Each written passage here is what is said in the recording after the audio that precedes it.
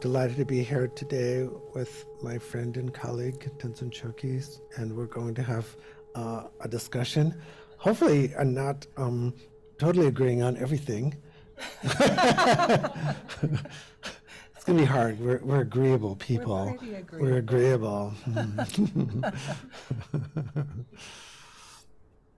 so, as are some people here for the first time, maybe? Yeah, welcome. Thank you.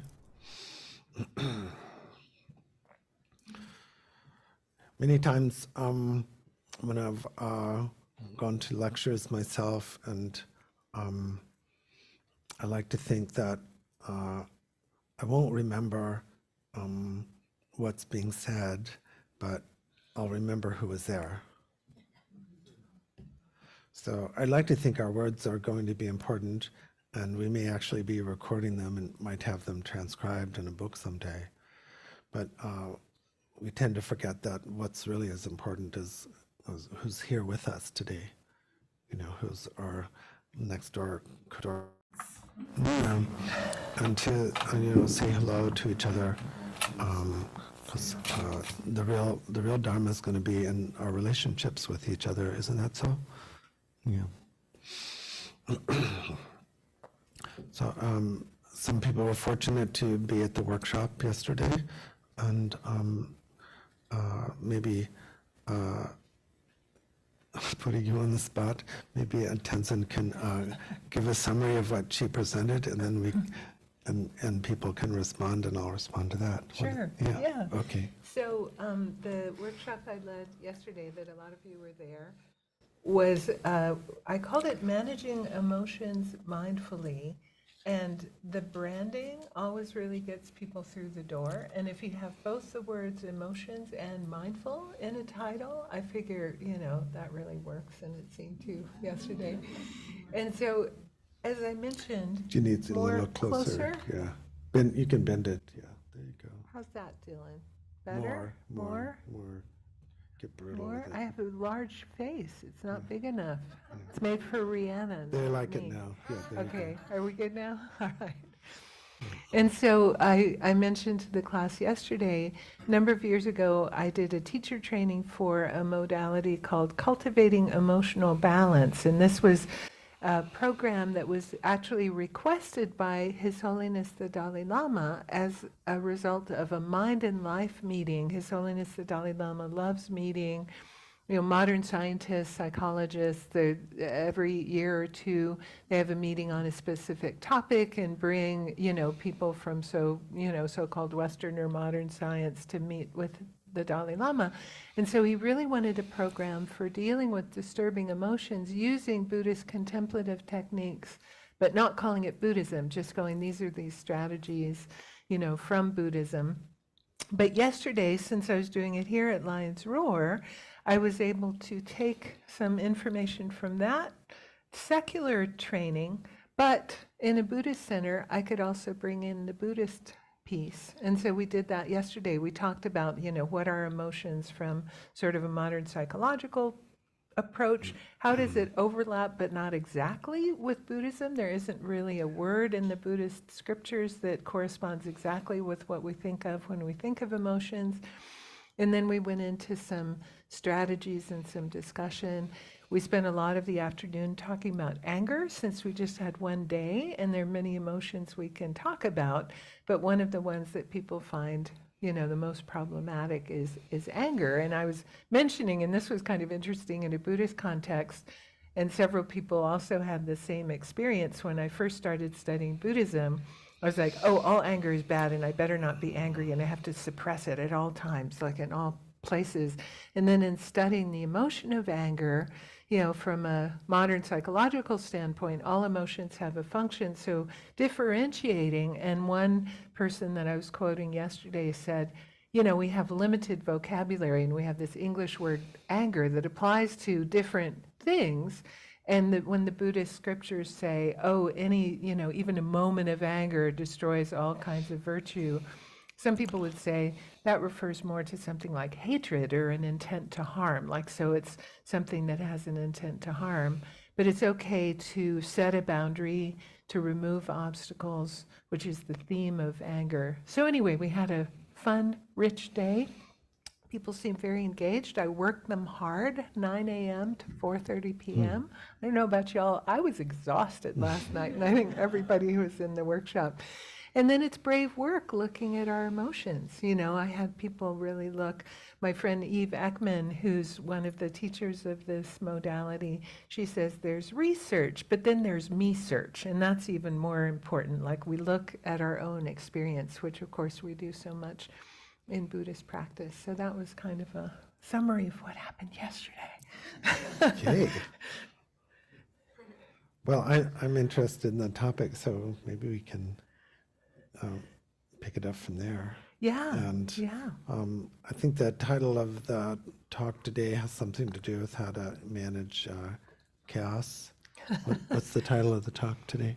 Despair, hopelessness, and chaos in the world. life in the midst of chaos, how to have a meaningful, joyful, peaceful life. Meaningful, joyful, and peaceful. We're raising the bar pretty high there. Wow. Okay. All of those.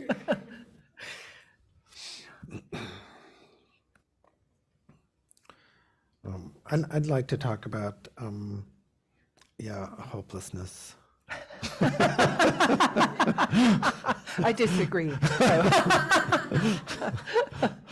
yes, let's talk about hopelessness and despair. There's a, um, a teacher workshop leader, um, Joanna Macy. Some people might know Joanna. Um, she wrote a book years ago called Despair and Empowerment in the Nuclear Age.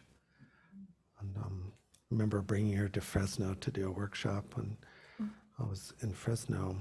and um, it struck stuck with me that um, she was able to transform uh, the situation. We're there, was- a period, and maybe we're not in it now, where uh, in the 70s or something, we we were worried the bombs were going to drop again. Do you remember those movies like Testament and? In the early 80s. Yeah, was it early was 80s? Like really early, like 81, 82, Yeah, like, 83. I don't know, you know, We were all- terrified it was going to happen. Yeah, you know, and yeah, uh, and that was um, very powerful to be able to acknowledge our despair. And I, I feel that there's, um, of course, you know, like Putin could press the button or something, but so it's kind of still there, but um, there's a different uh, or more pervasive despair among people when I, you know, ask, do you think th- things are going to work out or getting better? And um, I found myself even saying, well, I don't know if they're going to get better, you know, because so much of the dream um, is like, well, things are getting better. But uh, we, most of the time when I'm talking to people now with uh, reversals in um, what we saw as progressive politics, war in Ukraine, the environmental crisis, um, everything. It feels like things that there's there's kind of a despair creeping in. Now, now some people have always felt that kind of despair. People that have been uh, marginal or struggled, right? So some of it is just white privilege, like finally, you know, it's getting up to like, oh my gosh, you know, I'm feeling despair too, and uh, most of the planet's been feeling the despair. Uh, so that's another thing to look at is like how can we connect and be authentic. It's kind of weird to say, but authentic in our despair. You know, how can uh, can we talk? Can we reasonably talk about things getting better, or can we really reasonably talk about things being bad? You know, so many times in my therapy practice, I'm listening to people talking about how things are bad, and maybe because I'm getting old, but more and more there seems a little bit of disconnect. You know, I, I'm hearing the emotional suffering, but I'll say I'm kind of going, actually, it's not that bad. Right? You know, or we're going home to a nice house. I, I don't, I'm not meeting with unhoused people generally. You know, I mean, we have bank accounts it's it's really not that bad. You know, how bad is it? You know, like that. So, um, but that doesn't mean that we don't have um, some kind of real authentic despair. So I'm kind of in my existential mode today. Like, what, what can we speak to what really is despairing us, not just that we're having a personal struggle or that maybe things won't work out? Is there is there another kind of despair? And I'd like to suggest for argument that that's what the Buddha talked about as samsara, deep, deep despair, like that. Not just that things suck or people cut you off in the freeway or, or you know, like um, maybe, uh, I don't know, my German isn't any good, but Weltschmerz, something like that, right? Real, real kind of uh, this tiredness. So that, that's why I'm kind of a downer, but wanted to talk about today how to work with that.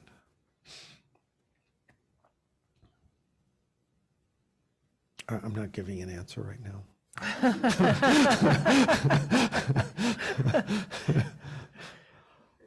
so, except, uh, so my Buddhist training is um, um, no, there's no, uh, there's not really a cure for complete despair. It's not an amelioration. Um, when I first met, um, one of the first times I met Trungpa Rinpoche in 1971, what grabbed me is um, uh, I shared some of my.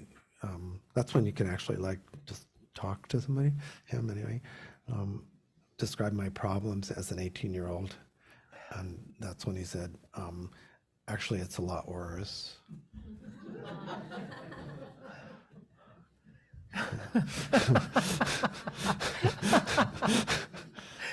so that that that got you know that actually at, at the time I was kind of pissed, like you're not taking my suffering seriously.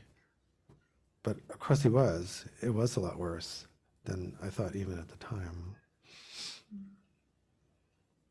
So something like that, you know. It's you know even we're, we're even when we're talking about our personal suffering, it's it's it's worse than that.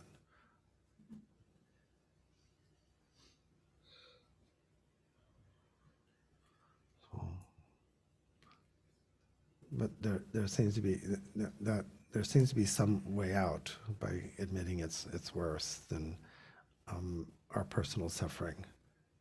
That that's the little catch. It's worse than our personal suffering.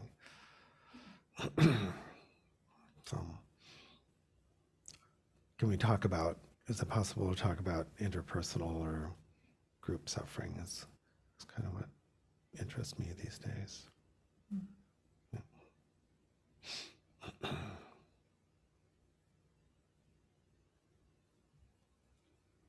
Are we allowed to take questions in the middle? Totally. Yeah, We can do whatever you want. Okay, You're the we boss. can. Yeah, I, you're the boss too.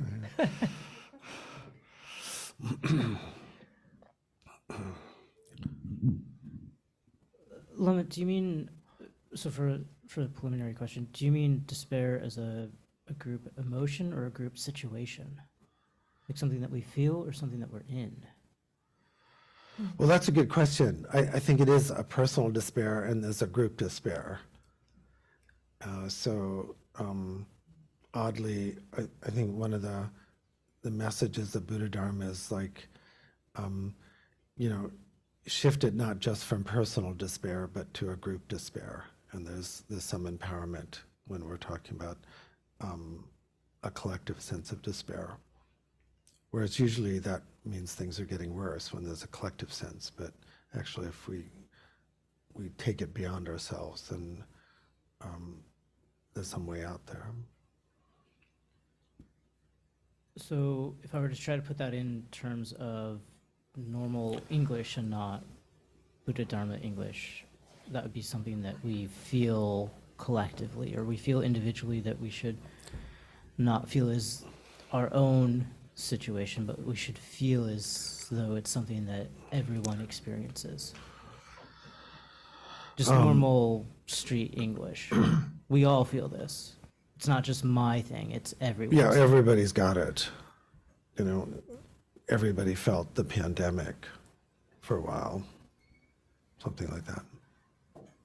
And so I guess my, my follow-up to that is that the despair isn't just that, you know, I, I can't memorize this text or I can't master this skill or, you know, I, I can't buy the, the new iPhone. It's that I'll never be able to move out of South LA. It's I'll never get out of this situation that's just completely tormenting me and affects everything that I do. It's it's something greater than just this one thing. It, it's a, a totality of circumstances, sort of. The, the, just to clarify what you're talking about. Yeah, like a totality, or, um, you know, we never get out alone. Or I'm fond of saying, we'll never get, um, there's no private enlightenment. We all think there's a private enlightenment. Something crazy, right? So,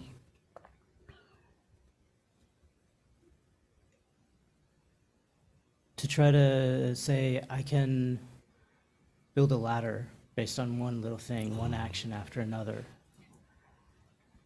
for myself or for everyone else, I can build a staircase of little actions. How does that affect the totality of the circumstances? Or the totality of the felt circumstances? How do, how do we work on things, each little thing that seems to build up to the totality of the circumstances? Rather than, you know, I mean, we can't just whitewash the whole, and I use whitewash as like painting the fence rather than, you know, color racism, right? We can't just paint it a different color to change it. There has to be something that we do one step at a time.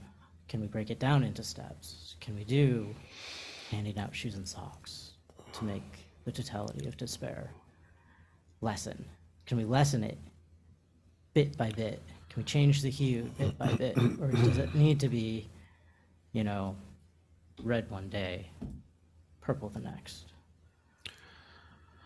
Um, well, let's see. I don't want to do all the talking here, but yeah, I, I would be rearranging the deck chairs on the Titanic, but uh, you know, or getting that those plates back up there. But um, I, I think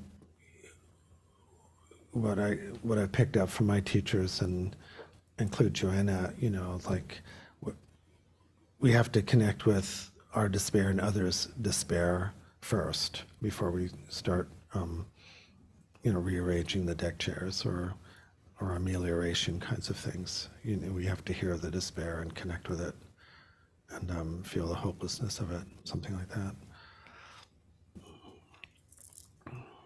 And then, and, and the the doing comes the the wisdom doing comes out of that um, uh, kind of hopelessness, ironically, something like that.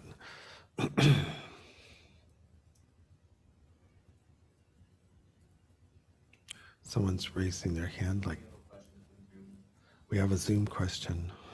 Oh, we're on Zoom too? Yeah, oh, yeah, look behind you. Oh my gosh. We're in the Zoomverse.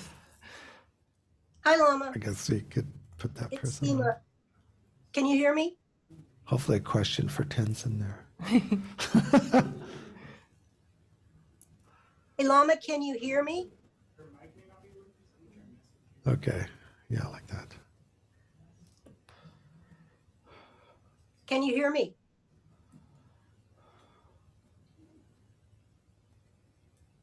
Hey, Lama, can you hear me? I think I know who this is. yes. Okay, I have something to report about suffering that's actually um, pretty good. It's a comment. This past week, uh, my mother is really old and she's really losing her mind. So this past week, she decided that the one caregiver that I have to help me was stealing from her and she never wanted her to come back ever again. because she did it, she would feel too terribly and uncomfortable that something might disappear. And so I spent a lot of time on the internet and talking to friends and going through all her stuff to make sure nothing had disappeared and pointing out to her the fact that she couldn't remember what she had and what she didn't have. And she would come back to this thing of, oh, if this woman comes again, and then you can't call her. She kept telling me, you can't call her back. You can't call her back. So finally, my mom always considers herself very realistic. So finally, I said to her, you know, there are spaces in your memory, they're beginning to show up. Those spaces result in blanks that you can't connect. That frightens you, it frightens me. It's not fun. But what happens when you feel that I'm stealing from you, that I'm abusing you?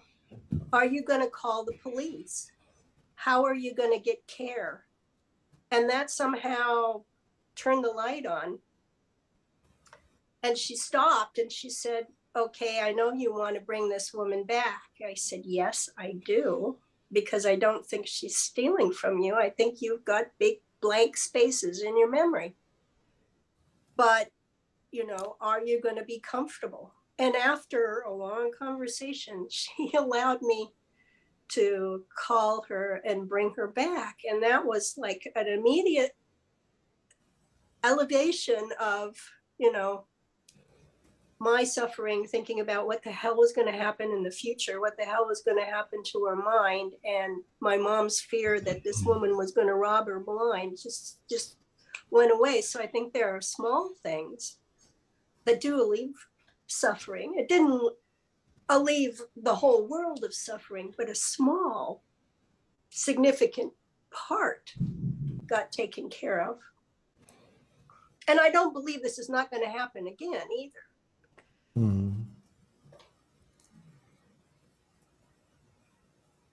Just Well, I have a comment, and I, I, I'm, I'm sure Tenzin has a comment. Um, um, you know, I've, I've had the experience where I've had to let, um, you know, uh, a spouse know that their partner died by suicide. So there's despair. And then at the same time, kind of offer them like a glass of water or something. You know, so there's there's some kind of in the there's some kind of connection going on there. It it doesn't change anything from the despair side, but there's something that happens about human connection when kind of you know, let me get you a glass of water or some tea or something. Um, I hope that's not a trivial example. It's just, it, it's still really terrible. Um, so that getting someone some tea or getting them somewhere comfortable to sit down or something when you're conveying horrible news, it just, most of life feels that way. or this horrible situation and then we're, you know, saying, you know, can I get you a cup of tea? Something weird like that. it's not making that situation better, but it's reestablishing a human connection for me. Oh no, I'd be interested to see what you have to say. Yeah, you know, so, so many various things are coming up for me. And one thing is, I remember when I first started studying Buddhism and heard the First Noble Truth, which is often, you know, presented as, you know, there's the, it- it's sometimes presented as life is suffering. And the Buddha never said life is suffering. And then people think, oh, there's never any possibility of happiness ever. Well, that's a mistranslation. It's just, as long as we're subject to distorted perceptions and ignorance and mental afflictions and the you know results of our actions we are going to be experiencing unwanted events. That's one way of you know because suffering sometimes we think oh it's like broken legs and heart attacks and bitter divorces. It's not just like oh i didn't want that thing that happened or that thing was disappointing you know so it's kind of more of a subtle level And then, as one of my friends who's a Buddhist teacher says, you know, samsara or that cycle of suffering conditioned by karma and delusions, he always says, it's a broken realm, it's not fixable, right? And so, one of the things that the Buddhist practice does is shift that perspective. And for me, that was a huge relief. Like, it seems kind of a bummer, but it was like, oh, it's not like my fault that I have unwanted experiences, it's the nature of things. And then, you know, the Buddha pointed to can we change our relationship to those things that happen? We're not going to f- be able to fix all of it out there. I don't I don't speak Tibetan. I know some voc- vocabulary, but there's a word, you know, the word Buddhist was kind of invented by colonial British explorers and there was no such thing and apparently in Tibet the word that referred to someone who's following the Buddhist path was Nangpa which literally means inner being. So it means like looking for the sources of happiness and suffering, not by fixing all the things out there, because it's endless and it'll never happen, but by looking within and changing our relationship to what happens. You know, and yesterday I talked about equanimity. This friend of mine did his PhD research on the quality of equanimity because he's found it was so overlooked in mindfulness practice and in you know Buddhist practice. And it's that being okay with okay when it's just okay because we're always wanting it to be amazing you know? And like lama says just paying attention to what's in front of us and making that better in that moment. Because sometimes i think when we have an altruistic intention. We think it needs to be huge, like Jimmy Carter, like wiped out, you know, dis- a disease in West Africa that had to do with guinea worms. Like we can't all do that. Like it would be awesome, and but we can pay attention to just everything and all the people that we're connected with. And that's what we often overlook. And I love the way Lama's really talking about that relationship, our interconnectedness. I think a lot of times for people, you know, outside of Asian countries, North America, who are practicing Buddhism, and we take refuge in two jewels instead of three. It's Buddha and Dharma, amazing. Oh, Sangha, yeah, whatever, right? It's equal. And we don't do that. Like we don't prioritize connection and community. And, you know, everybody, all the positive psychologists, when they talk about what makes us happy, the number one is social connection. And it's so easy in our like hyper individualized world to really overlook that. And can we just do our best in every moment? Because when we look at the huge big picture, whether it's from a political stance or environmental or Buddhist stance of like, oh, it's unenlightened existence, it's not fixable, so easy to fall into despair. But can you give that person a glass of water? You know, can you make somebody in your life just that very moment and just having trust in the ripple effects? And that goes back to Buddhist ideas of like cause and effect. Like our actions do have impact and not to go fall into despair that says oh nothing i does you know nothing i do matters. It's too huge all the problems. So forget it. I'll either go into despair or denial right? Just binge watch netflix and like with your six pack every night. You can do that but it's like having that faith that even the smallest things one of the characteristics of karma is that it expands right so tiny tiny causes can lead to huge effects.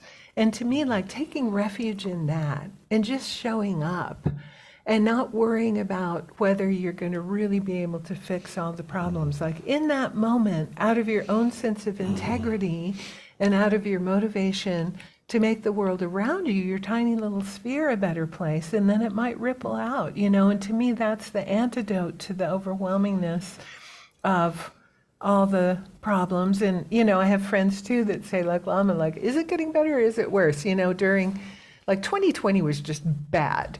Like, there was COVID, and then George Floyd was brutally murdered, and then the entire West Coast was on fire, and that was a lot, you know? And then this friend of mine is like, no, no, it's no different. There's always some, you know, this isn't worse than, uh, you know, so whether you believe it is or not. But just show up because you have to. not because you believe that it's going to be fixed, but because there's nothing else you can do out of your own integrity, but just keep showing up with your values and enacting those in the world. And maybe it'll make a difference and maybe it won't, but it'll totally make a difference to you because you're an inner being, right? And you know, the the cause of your own hopefulness is that is not worrying about the long-term outcomes, but just showing up. There was, uh, I listened to a podcast, um, Roshi Joan Halifax at the Upaya Zen Center, and she was quoting this author, Barbara Kingsolver, this well-known author who is differentiating between optimism, pessimism, and hope. And she said, pessimism is like, it's going to be a brutal winter, the harvest wasn't enough, we're all going to die, right? And then optimism is like, oh no, I think it's going to be fine. And then hope is, let's put some potatoes in the root cellar in case we survive until the summer, you know? So it's sort of like, just do it, just in case, right? Not like going, oh no, no, it's all good, it'll all be fine. But just showing up with whatever action we can, and that we can do. Like we have agency over that, you know, and and I do believe that it has an impact because, like, I'm a Buddhist, and I do believe the thing about our, you know, the causes we create, really rippling out and expanding. So those are some of my thoughts about despair.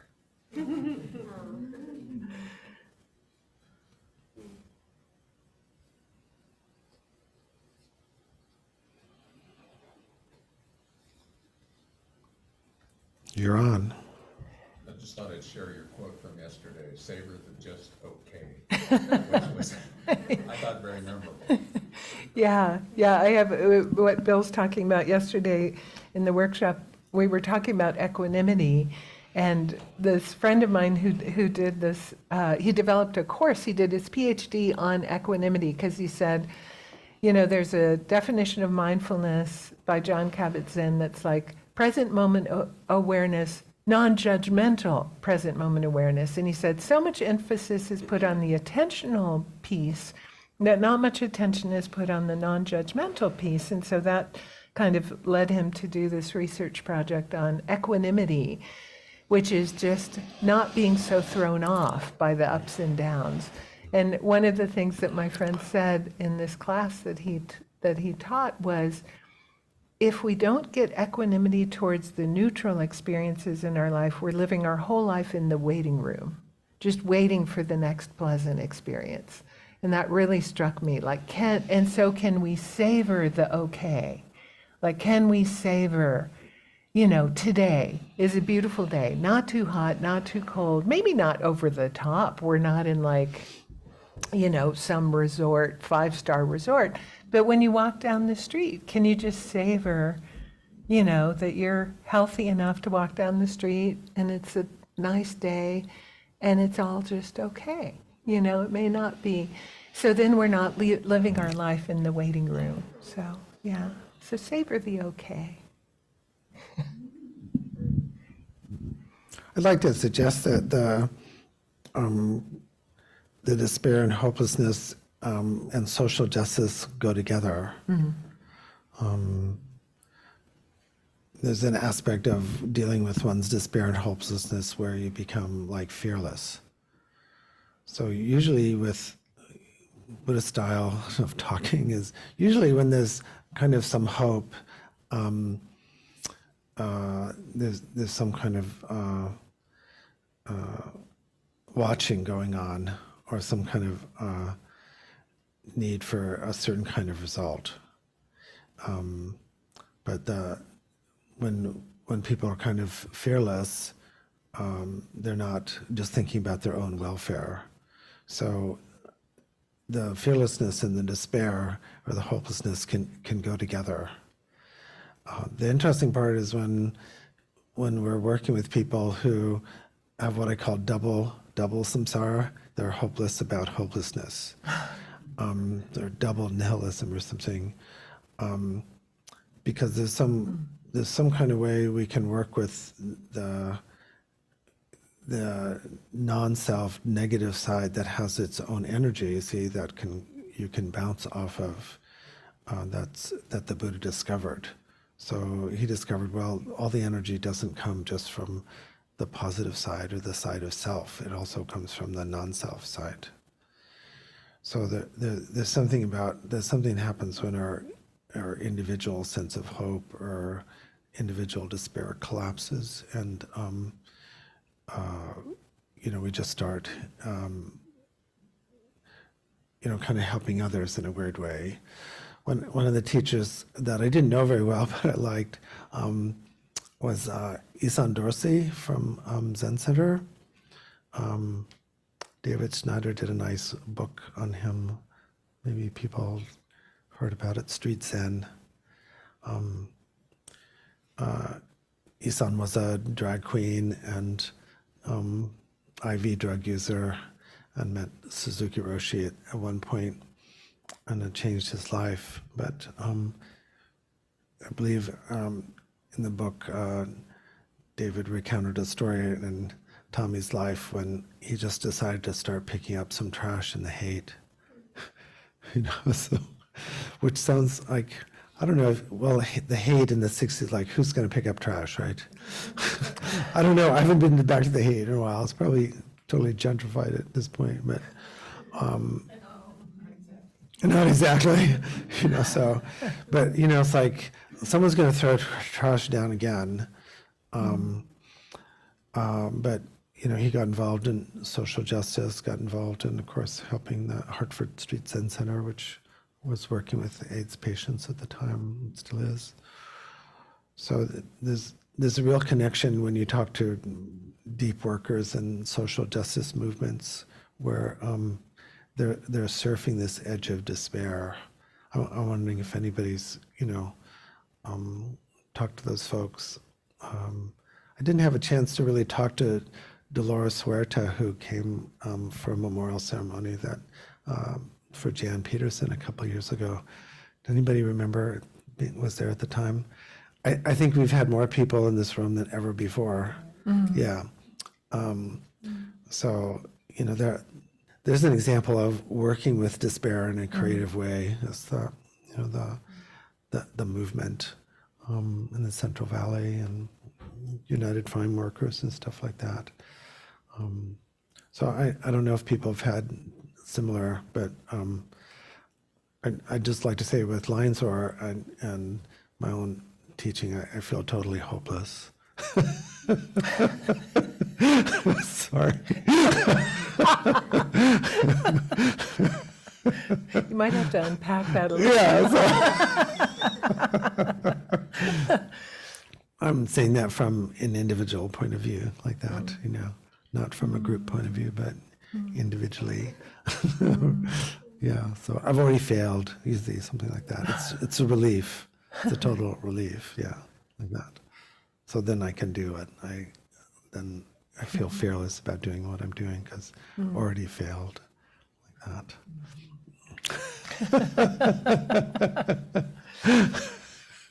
One of my favorite books is A Zen Failure in Japan. Anybody read that book? Sweet, isn't it? Yeah. Like, yeah. Yeah, it's lovely. Yeah, something like that. So,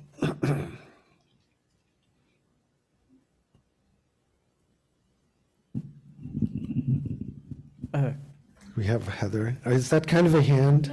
Is that a Heather hand? Um, my question, just for me personally, and I'm sure maybe other people, Put it up a little. I Yeah. said, for me, my personal experience, and then I'm sure other people experience this too, is I think I feel hope and anxiety in the same feeling. Um, like my hope is an anxious response or vice versa. Is that normal or mm-hmm. how do people work with that? Do you understand what I'm talking mm-hmm. about? Mhm. D- To me, you know, I think about attachment to outcome, right? Like, even if hope means I'm expecting an outcome or waiting for an outcome or attached to an outcome, often that leads to burnout and so much disappointment. And I think the perspective that says, I'm just going to show up because it's the right thing to do. And I may never even see the outcome of my actions. There may not even be one, but I can't do anything less than that. For me, I mean, I'm just speaking from my own experience and really like all my, you know, decades of like kind of trying to do the right thing, waiting, getting disappointed, giving, oh, I'm going to give up, I'm a failure, like showing up again, and then just kind of getting to this like sweet spot of just letting go of any expectation or outcome. And then the anxiety drops away, and then it's energizing because you're just showing up out of your own, you know, your own. I don't know, trying to manifest out of your own qualities in this way that it's almost like it's flowing out and it can't get depleted because it's just flowing from your inner life outward to to do whatever you do and not to have that expectation. I, I remember this um, so I've been teaching in, until COVID I was teaching in prisons for about 15 years and I remember I had like my star pupil in prison and he was like my teaching assistant and I would only it was kind of far away from where I lived so the Buddhist group met every week, and so I could only go once a month. So I'd set him up because he'd studied a lot, like do the thing with the students, like in between before I come back, and you know, just had so much expectation of this student. And then he got paroled, and we're so excited, and he gets paroled, and you know, I couldn't pick him up because I was a Buddhist volunteer. So one of his friends who'd been paroled a couple of years before picked him up, and then I met them, and then we went out to lunch, and,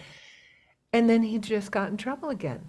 And like like really bad bad bad bad. And i remember in that moment going forget it i'm not teaching in prison anymore. Like all that energy for years. And then i had to go no like that's my problem that i had this expectation of this person and i feel disappointed and discouraged and that was a real turning point for me because i really deeply felt like well forget it. I'm done. I'm not doing that. Because he didn't meet my expectation of what, you know, and he was just living his life like it had nothing to do with me, right? And so, like that, you know, it's so easy, I think, sometimes when things don't turn out the way we expect, we have that anxiety about it turning out that way and then it doesn't. And then that leads to the giving up. But like Lama says, if you already accept you're a failure, then just keep showing up. And then everything will just be a bonus. Like if there is some positive outcome, it'll just be like, sweet, bonus. Yeah.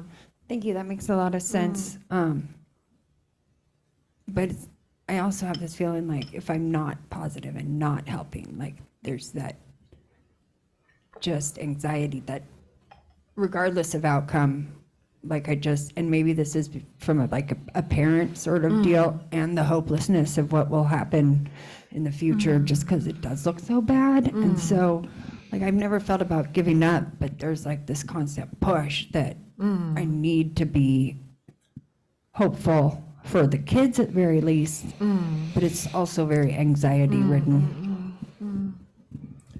You're a parent. What do you think? Um, I, I try to um, think that, uh, you know, an anxiety level of two or three is a good thing, something like that. So you,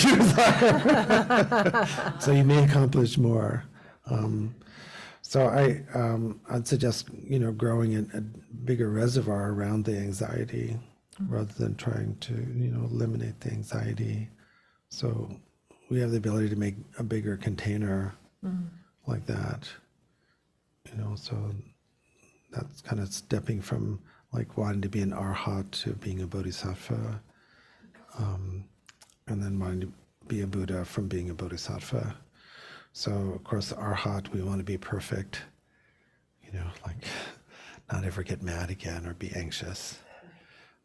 And then then bodhisattva, then we're going to use the energy of that anxiety to transform into bodhicitta. And then, um, you know, then Buddha's like no more learning. So just be okay with it? Well, I, I don't think being okay with it is an option. Okay. I don't understand. Not being okay with it is an option? Well, you know, in, in, in all the practices, you know, we're not saying it's okay. So, um, like my teacher Geshe John actually, you know, had a pretty fierce temper. um, and he got in this debate with um, like a Taoist kind of Western Taoist student, you know, like there's the yin and the yang, and we need don't we need the suffering to realize the release? Don't some people have to be wrong for others to be right? You know, that kind of thing. And, and he just got furious. He said, it's absolutely unnecessary.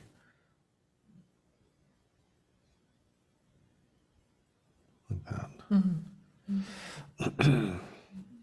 so, um, in, in that sense, you know, it's, it's never going to be like, okay. So there's always going to be some um, anxiety. Relatively speaking, right? Has to be. So I'm nosy. I'd always ask every teacher I've ever met, like, you know, do you ever get anxious? And, you know, when they're talking to me, they will say yes, you know.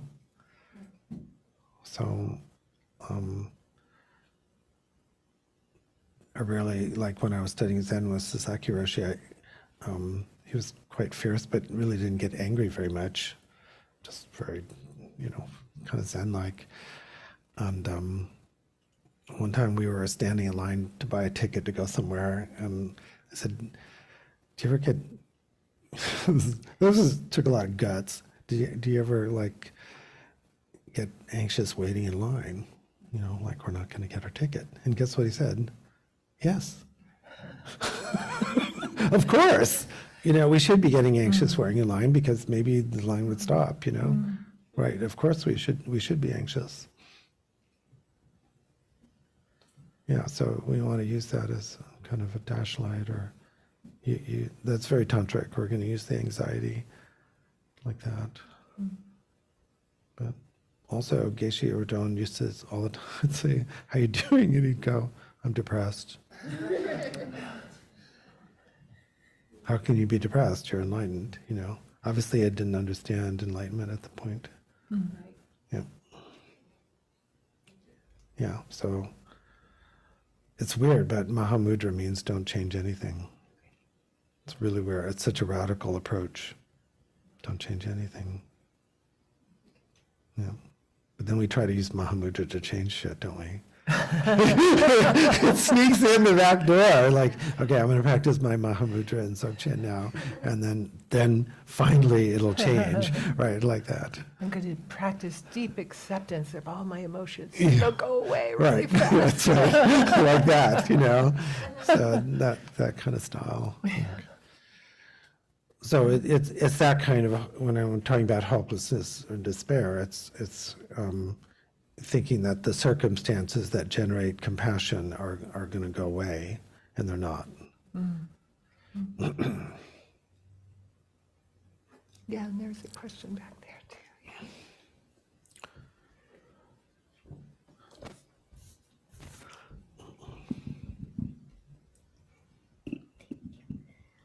Well, now this conversation's getting very juicy.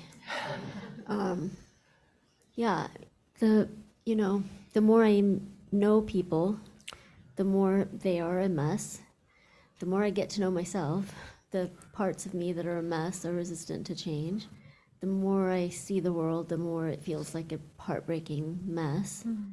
But at the same time, like there's also a sense as I practice that none of it is real. But there's this, I'm left with this raw emotional energy. And you just said not to try to change it. Okay, so I won't change it. But how can I, but what can, can I balance it? Can I try to balance that emotional energy? Or uh, channel it in, a, in some ways? Because sometimes the sometimes the ener just the just letting letting alone like individual emotions themselves, just emotional energy. Mm. It's just energy, right? Mm. It's just mm-hmm. energy. And that can feel very it can feel uncomfortable or raw or threatening to sort of destabilize. Mm. Right. So, and the thing is, we have to keep going because that's just the nature of reality. So what? So what to do with that, if anything?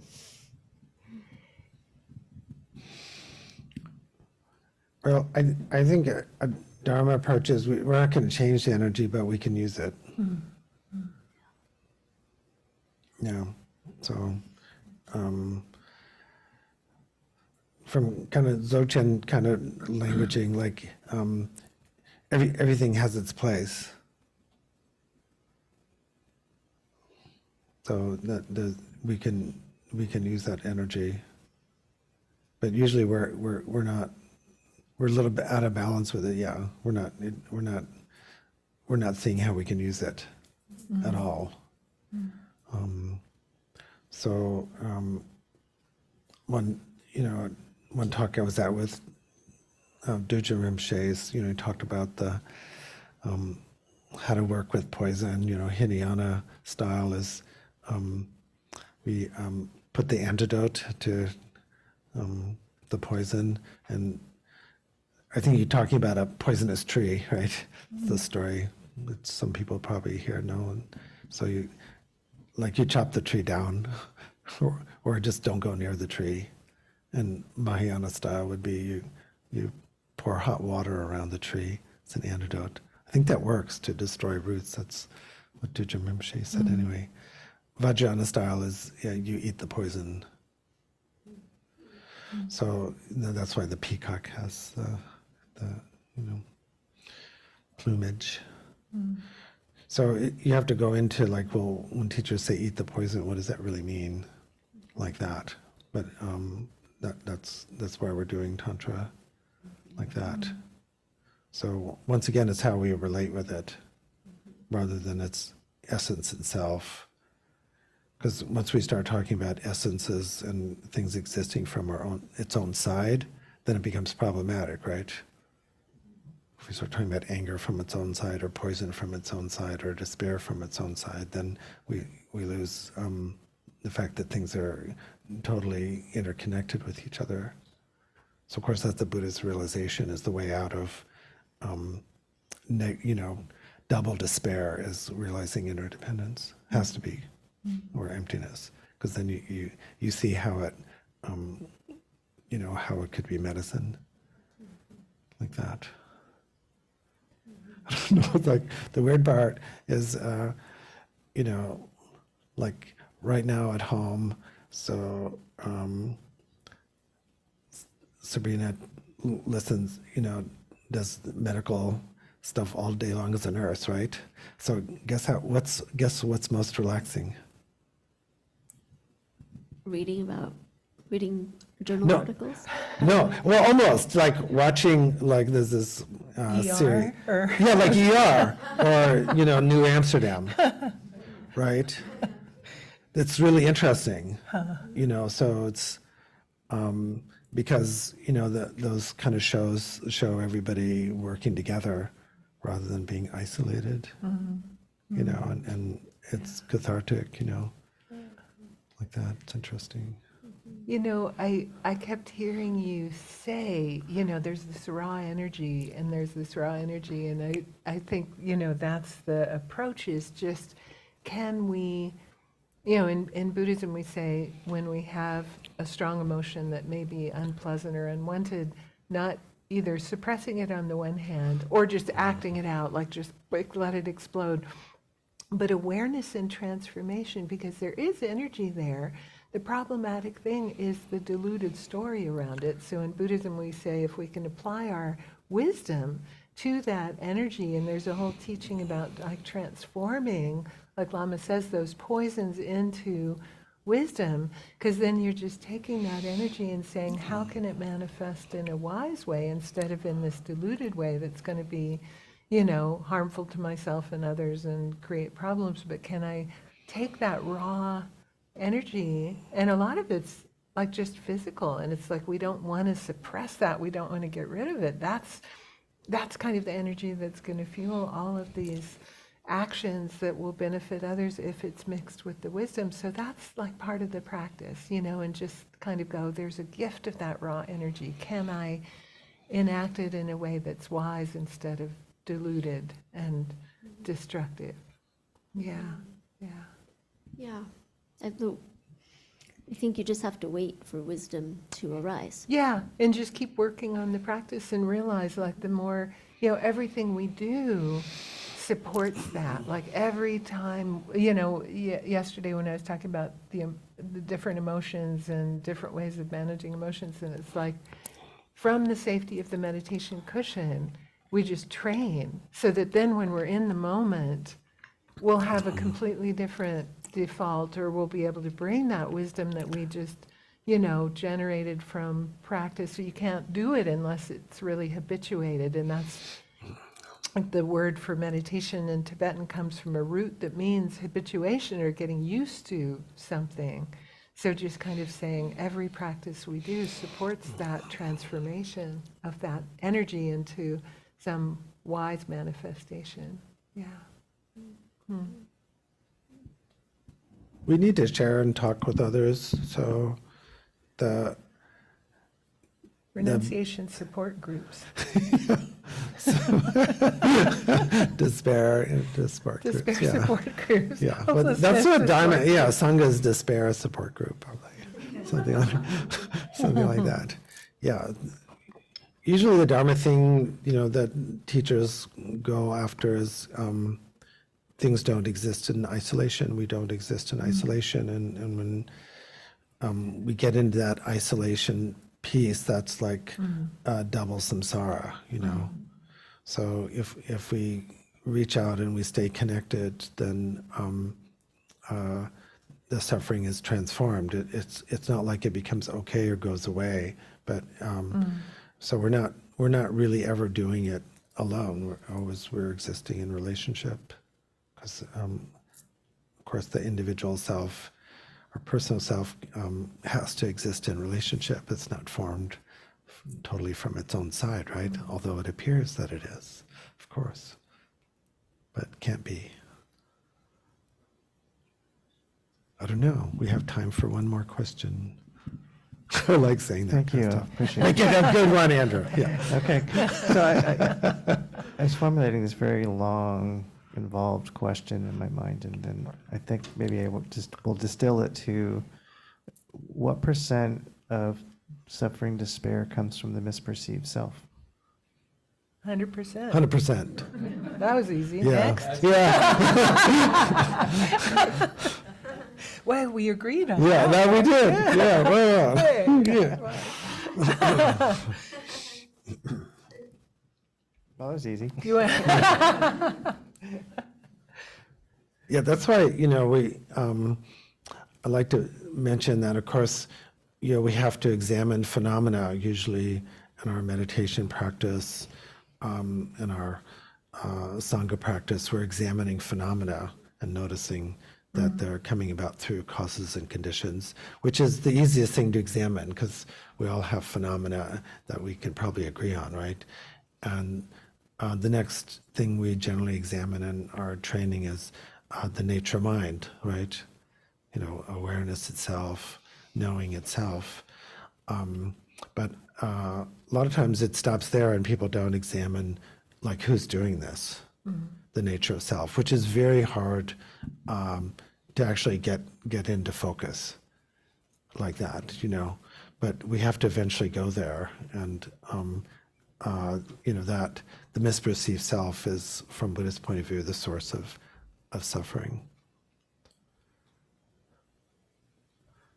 Shitty things still happen, even when we clarify the misperceived self. So from that point, um, we, you know, so we're not going to do a spiritual override, right?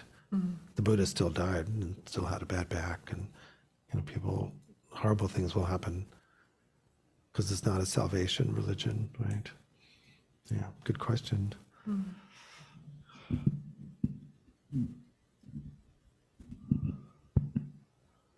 So we're almost um, coming to the end of our usual service today.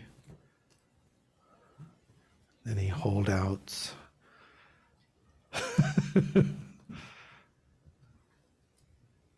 yes. Hi, thank you. Um, it- Just something that you said, you know, that we, we do our practice every day and it, you know, hopefully it helps, you know. Um, I find, you know, I have a pretty, pretty regular practice every day, you know. Um, Sometimes I think that's something that brings up despair for me is seeing myself do the same stupid things over and over, you know. Um, I still have that fear that comes up in that situation, even though I know, well, there's nothing really to fear there. You know, it's sort of a projection of my mind. And I, you know, I analyze and I meditate and, you know. Um, and so maybe it's just about patience in a certain way, but it's frustrating. You know, it's very frustrating to f- feel that, like, shit, look, I've been doing this with my wife for 10 years where I am an asshole once again, or she says something I don't like, and I, ah, you know. So, whatever you'd like to say about that. what do I do? Help. I have, I have a little, you know, years ago, I, I remember really clearly, it was something I read in a book by His Holiness the Dalai Lama. And it was one of his Lamrim commentaries. I can't remember which one he said, but it was so helpful to me for just this thing because he said, we have to kind of hold two kind of views simultaneously. He goes, we have to realize that like the spiritual path is like lifetimes, right? To, to really transform fully. And we should be seeing change in our lives too. And he said, but holding both of those is really hard. He goes, it's not a quick fix, and it's not like by next Tuesday you're never going to get angry at your spouse ever again. But he goes, you know, if we compare ourselves to ourselves, like six months ago, a year ago, two years ago, five years ago, like incrementally, am I a little bit kinder? Am I a little bit more patient? Am I a little bit more compassionate? He goes, if not, check with your spiritual teacher, something's wrong. And don't expect miracles overnight and see, like, hold also this long term vision of practice. And that really helped me to have the patience to go, like, you know, in the beginning, I would compare myself to my teachers, and it would just be like, wah, wah, like I and just, you know. And then I would always just feel discouraged and like, what am I even doing? But if I compared myself to myself and I just go, okay, like for sure I'm not perfect, but like Voltaire said, don't let the perfect be the enemy of the good. It's better. Yeah, I did show up different. And sometimes it's only in retrospect, like in the moment. And sometimes, you know, it will be the next day or a week later, go, oh, wow, in that conversation, I was able to just be a lot more present and kind of patient with that person and not get cranky.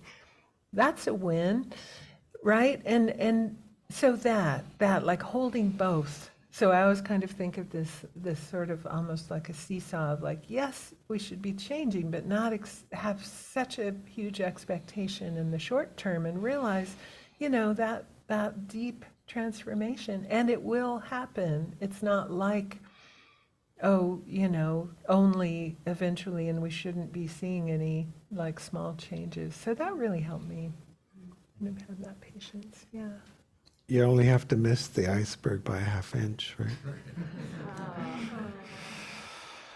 we should probably end with prayers. And yeah, thank you. Omo araya pacaya rāya pācānāndi āmo